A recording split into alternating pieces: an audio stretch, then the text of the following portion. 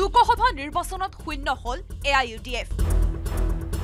সংসদত শূন্য হোৱা এ আই ইউ ডি এফৰ ভৱিষ্যত নাই।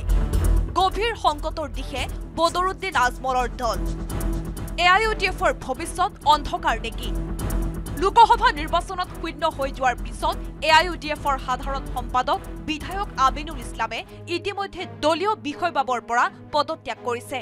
খবৰ পোৱা অনুসৰি এ আই ইউ ডি এফৰ একাধিক বিধায়কে কংগ্ৰেছত যোগদানৰ বাবে আগ্ৰহ প্ৰকাশ কৰিছে। কিন্তু ভূপেন বৰাৰ স্পষ্ট কথা হৰা দলৰ বিধায়কক ৰাজীৱ ভৱনত গামোচা পিন্ধোৱা নহ'ব। যিসকল বিধায়কে নিজৰ নিজৰ সমষ্টিত এই ইলেকশ্যনত পৰাজয় বৰণ কৰিছে বেলেগ দলৰ। তেওঁলোকক দলত আনি পেলাই ডাঙৰ গামোচা দিয়া কোনো পৰিকল্পনা আমাৰ নাই। একে সময়তে A I U D F বিধায়কক কংগ্ৰেছত ল'ব নালাগে বুলি ৰকিবুল হুছেইনেও আগবঢ়াইছে পৰামৰ্শ। বদৰুদ্দিন আজমল শব্দটো পাহৰিব বিচাৰিছে। ইউডিএফ শব্দটো নাকচ কৰিব বিচাৰিছে।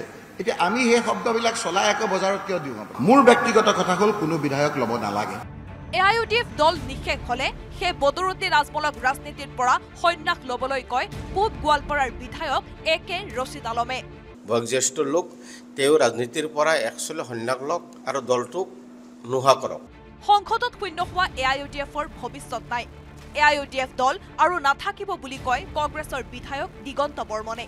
বিধায়ক নুৰুল হুদায়ো সমালোচনা কৰে এ আই ইউ ডি এফৰ দলৰ নেতৃত্বক। ইউ ডি এফ হয়তো নাথাকিব। ইউ ডি এফ নাথাকিলে মই ভাবোঁ ধৰ্মক লৈ যিটো ৰাজনীতি সেইটো সমাপ্তি ঘটিব। চিৰদিনৰ কাৰণে এ ডি এফ দলক বিদায় দিছে। অহা বিধানসভা নিৰ্বাচনত তেওঁলোকৰ এজনো বিধায়ক নাথাকে। দলটোৱে নাথাকে দলটোৱে বিচ্ছিন্ন হৈ যাব। ইতিমধ্যে দলৰ সাধাৰণ সম্পাদকক পদ বিসৰ্জন দিয়া আমিনুল ইছলামে অৱশ্যে দাবী তুলিছে। এ আই ইউ ডি এফৰ কোনো বিধায়কে কংগ্ৰেছত যোগ নিদিয়ে। ইউ ডি এফৰ পৰা কোনো প্ৰাণেই কংগ্ৰেছত নাযায়। এই মুহূৰ্তত তেখেতসকলে বহুত ট্ৰাই কৰি আছিল বা কৰি আছে। মই ভাবোঁ এই মুহূৰ্তত ইউ ডি এফৰ দুৰ্দিন। ইউ ডি এফৰ কোনো বিধায়ক কোনো ভাল কৰ্মী কংগ্ৰেছত নাযায় এইটো আপুনি স্পষ্ট ৰাখক। আনহাতে ছাব্বিছৰ পূৰ্বে A I U D F পুনৰ শক্তিশালী হৈ উঠিব বুলিও দাবী তুলিলে আমিনুল ইছলামে।